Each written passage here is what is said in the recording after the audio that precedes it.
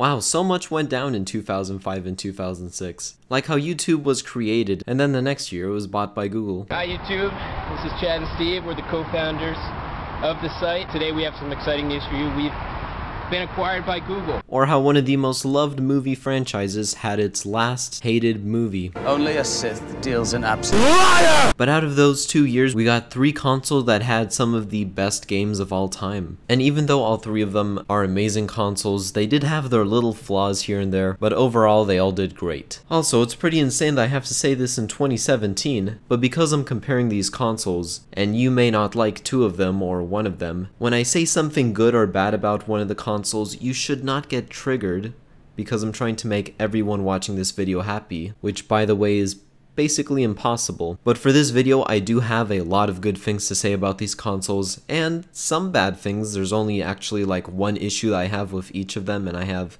tons of great things to say about them in total.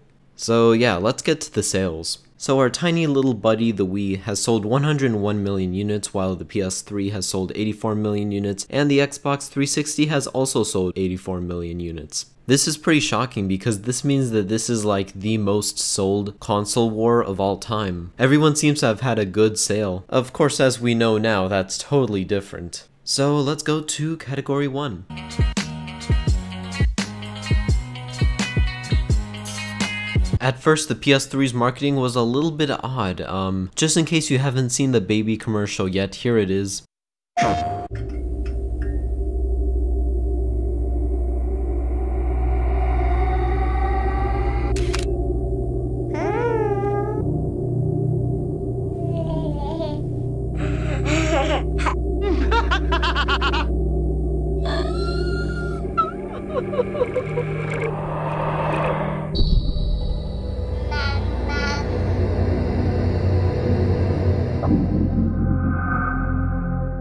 Now before I show you how this marketing has changed, there actually is meaning behind the commercial. It's trying to show a wide array of emotions that the PS3 can make. Because as you saw, it was laughing and crying. Some people think that's just how you perceive the commercial. Sort of like those cliches where a psychologist will show you a blob image and say, what do you see in this image? But Sony was like, alright, let, let's change this. And they added one of the most loved characters in commercial history, Kevin Butler.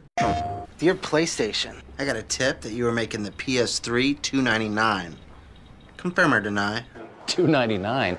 Bernie, you can't believe everything you read on the internet. That's how World War I got started. While 299 for the sweetest gaming, Blu-ray playing, movie downloading system in the world would be fantastic. No comment. But all that stuff says 299. Hmm? Right behind you. I'm sorry, you said something?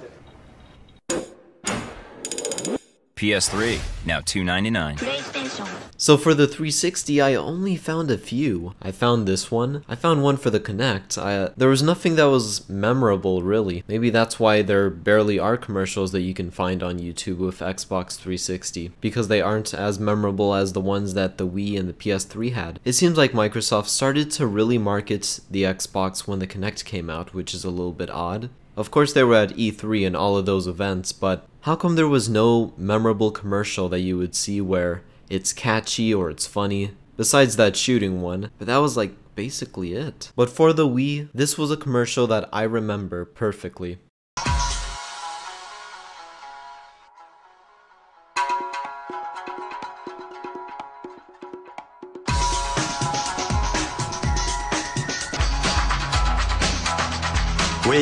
Like to play.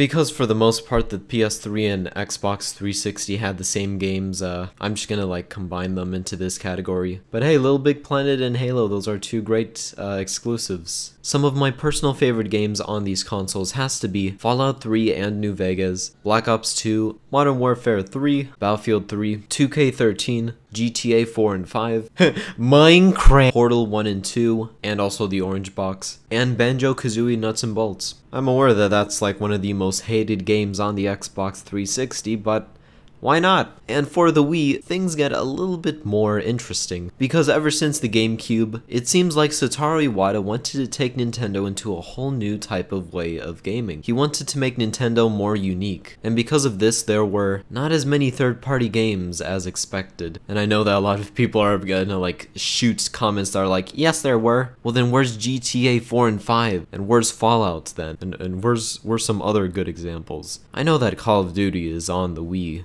but that that's not really like a good example of like a ton of third-party games on the Wii. But I do have some amazing favorites, like Super Smash Bros, Mario Kart, Raving Rabbids, Wii Sports, Wii Play, and Mario and Sonic at the Olympic Games.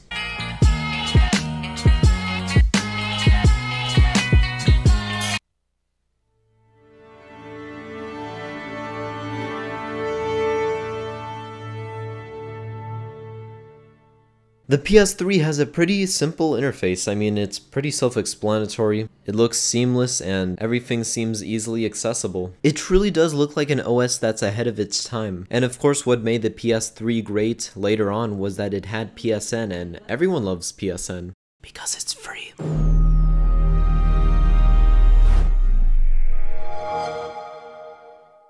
The 360 has a more organized interface, and for the most part, people always liked Xbox Live. Back in the day, it was always considered that Xbox Live was more reliable and faster and more secure than, than PSN. The only issue is that you would have to pay money, so this really was a fight between if you want something free that won't always break, but might, or something that's less likely to break but will cost you a couple bucks.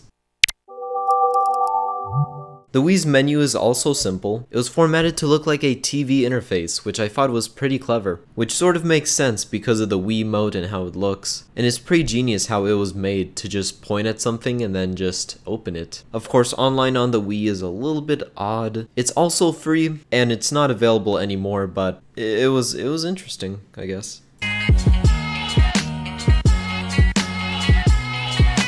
Everyone all around me always says that the PS3 is such a great console, but what if I told you that if you liked the PS3 back in 2006, um, I guess you could say it's similar to saying that you like the Nintendo Switch inside of a PlayStation 4 Facebook group. Yeah, just imagine how that's going to turn out. In other words, the PS3 was, for the most part, really hated and people were really pissed at it. It was hated so much that someone made a song back in 2006 on YouTube that's a parody of the song How to Save a Life. So what was wrong with the PS3? Well, one of the major issues was the price. Similar to what happened with the Xbox One at the beginning of its time, the PS3 was priced way too high. It totally got rid of that 299 thing that we heard with the PS1 because now it was $4.99 and if you wanted a better version of the PS3 that was going to be $5.99 so automatically this turned off most gamers as they jumped over to the 360 or to the Wii. Some people didn't care about the Blu-ray feature that the PS3 had, so that also sort of hurt it because that was something Sony was trying to promote. Sort of like how Xbox tried to promote the Kinect with the Xbox One like,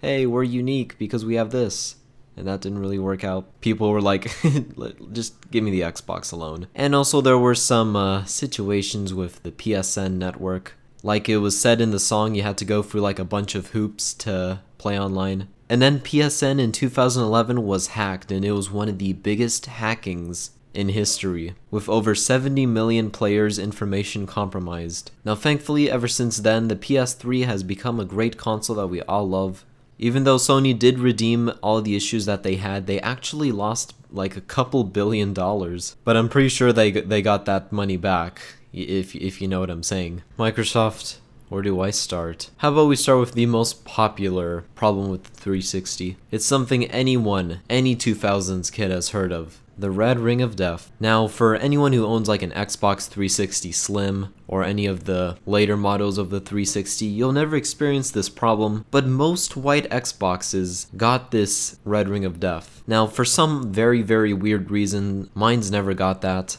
As you can see, I have the white one and I had this thing on even when I didn't even use it because I was a stupid 7 year old. So I have no idea how this survived. Another issue with the first gen 360 is that it didn't have Wi-Fi. And this sort of makes it really, really bad because the Wii had Wi-Fi and so did the PS3. So this sort of made the 360 look really bad. And of course you wanted that Wi-Fi, so you had to get an adapter. And on top of that, you have to pay for online. And look, I'm trying to talk about this in the past. I know a lot of people are gonna be like, you have to pay online for all three consoles. But back then, having online was sort of like having the internet. It was free, and now you have to pay extra for their service so at the time, people were pretty pissed. That's why there was sort of an internal fight between gamers like, should I get it like with Wi-Fi or without Wi-Fi? Should I get the PS3 or the 360 or the Wii? Because there was a lot of like good and bad and just all sorts of points that made one console look good, one console look bad. It sort of is like politics when we choose a new president. There's like good, bad,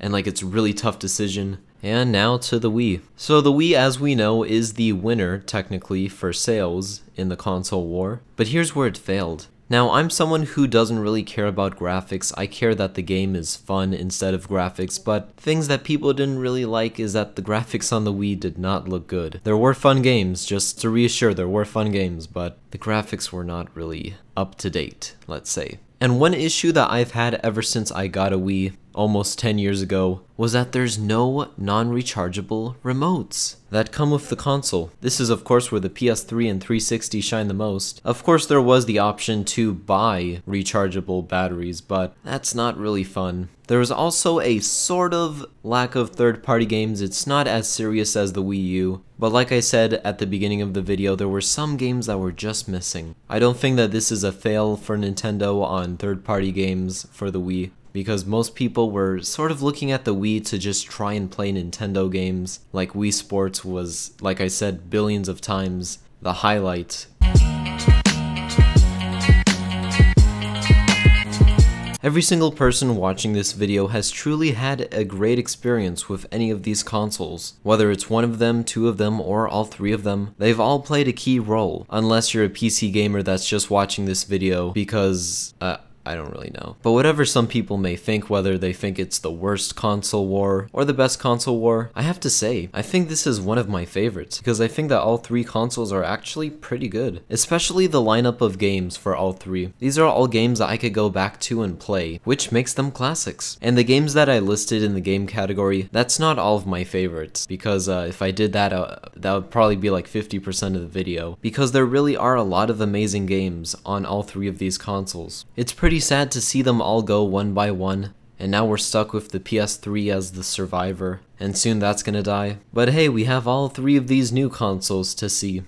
Or technically five. Or technically in the future six. But some people say that the console wars are coming to an end. Who knows? Actually, we do know, because we decide if consoles continue to strive or not. And as always, thanks for watching. You stole Vsauce's outro!